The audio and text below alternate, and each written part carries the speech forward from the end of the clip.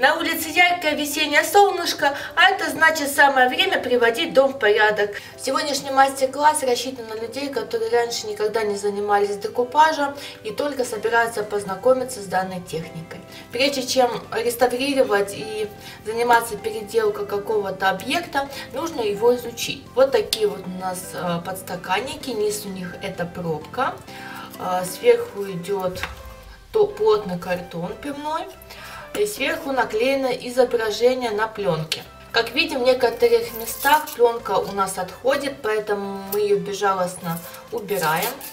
Я не буду трогать пленку, которая хорошо держится на основе, так как есть вероятность, что сдирая ее, я могу зацепить хороший слой нашего картона и придется не просто грунтовать нашу заготовку, а еще и ее шпатлевать.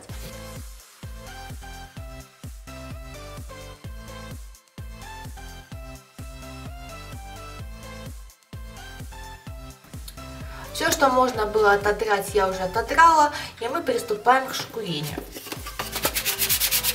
Для этого использую вот такую вот губку. С одной стороны она нулевка, с другой о, единичка. Так мы отшелушиваем лишнее, что не успели убрать. А, плюс а, за счет шкурения мы также снимем часть лака, и, соответственно, наш грунт будет ложиться хорошо.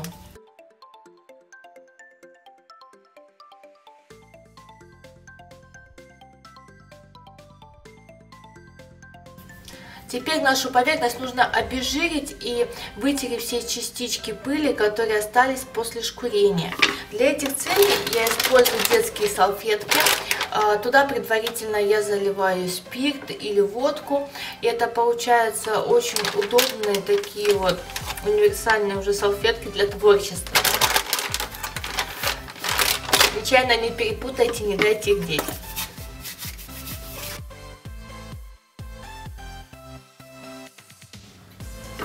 Сейчас мы с вами будем грунтовать наши заготовки. Для этого я буду использовать уни универсальный белый акриловый грунт от фабрики Декорум.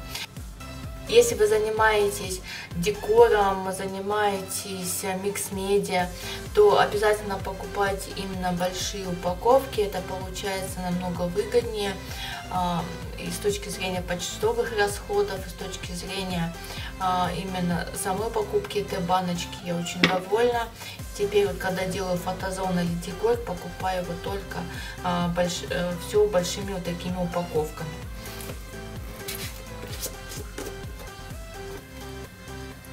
Вот у нас такой тут жидкий грунт.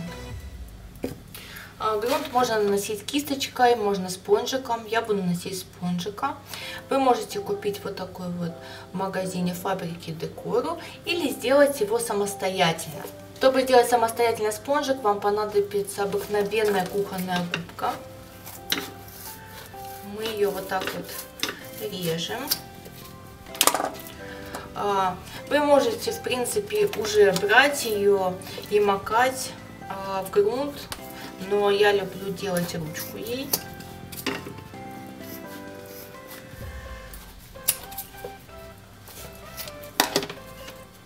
Обрезаем нашу руку до нужного размера. Видите, уже она удобно входит в баночку.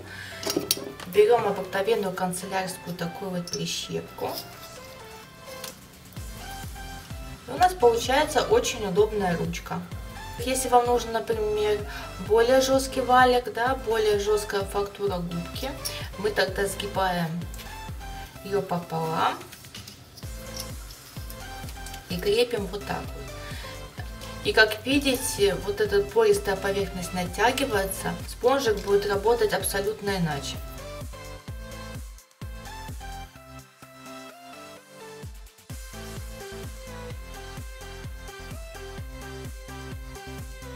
Первый слой грунта готов, мы подождем, когда он высохнет, и покроем уже вторым слоем грунта. Когда и он высохнет, а, то покроем заготовки белой акриловой краской от фабрики Декору. Я не буду эти этапы снимать, это очень долго и скучно. И, и мы уже буквально в следующем кадре с вами займемся а, работой с декупажной картой. Итак, в нашем любимом магазине фабрики Декора я нашла вот такую вот потрясающую декупажную карту с бабочками винтажными. И давайте с вами будем определяться, что мы хотим клеить. Мы кладем нашу заготовку под декупажную карту и выбираем мотив. Как мы выбираем? Мы продавливаем немножко бумагу, чтобы был виден контур.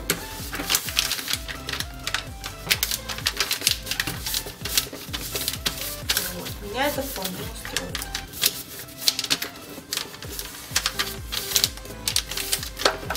Вырезаем.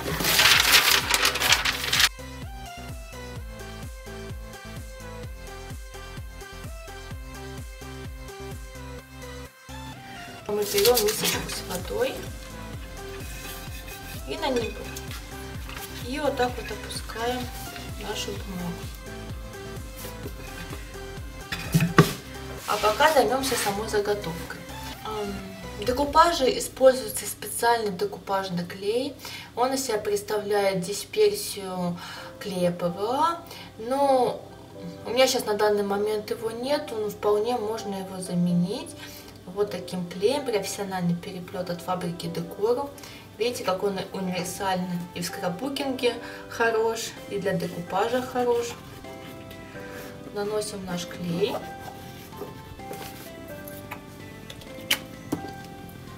Разбавляем его немножко водичкой.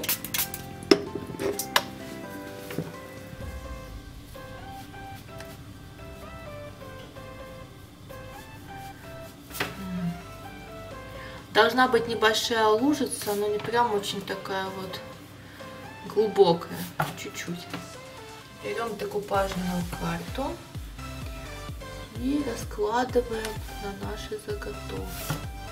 Из-за того, что она влажная, очень хорошо ездит в разные стороны. Мы можем определить, как нам будет более красиво это сделать.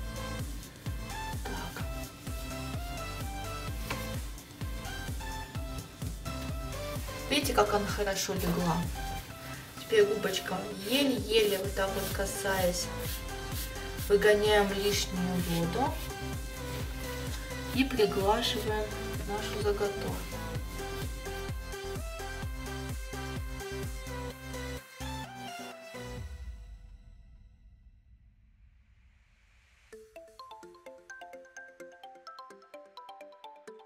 Чтобы вот эта лишняя бумага нам не мешала,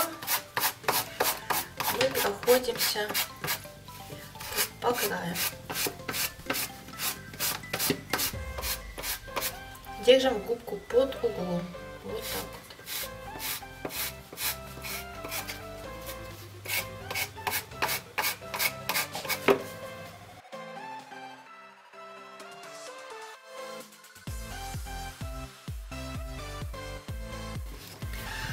теперь нам нужно защитить нашу бумажную поверхность и сделать непроницаемую пленочку из лака.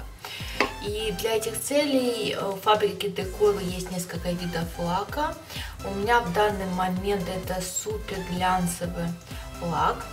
Также есть томатовый лак.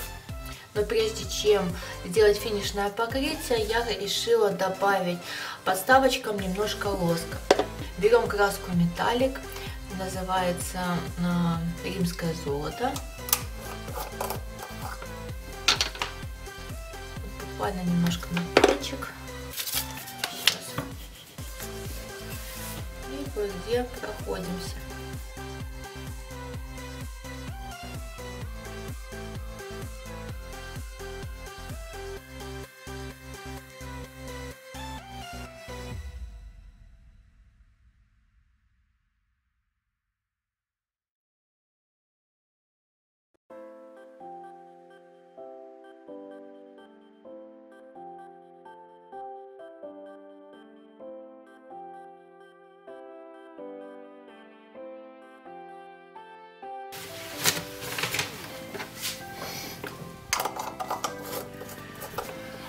Также в фабрике Декора есть вот такой вот битум, как вы видите, я очень часто им пользуюсь, у меня самая такая грязная баночка. Битум вязкий имеет специфический запах, поэтому будьте к этому готовы. При помощи битума мы делаем вот такие вот пятнышки, которые очень хорошо старят поверхность.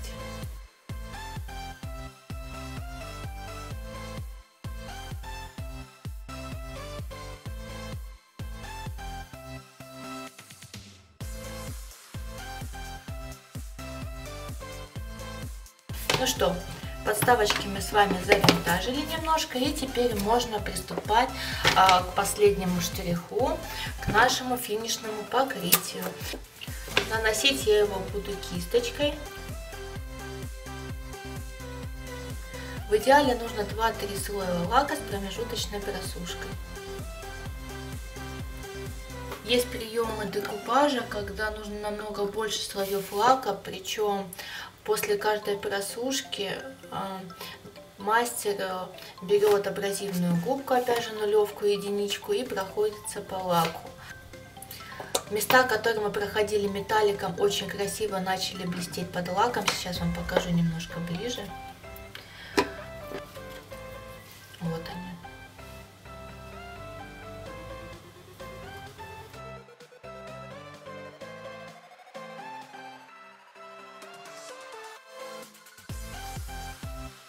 Собственно, мастер-класс подошел к концу. До новых встреч. Пока-пока.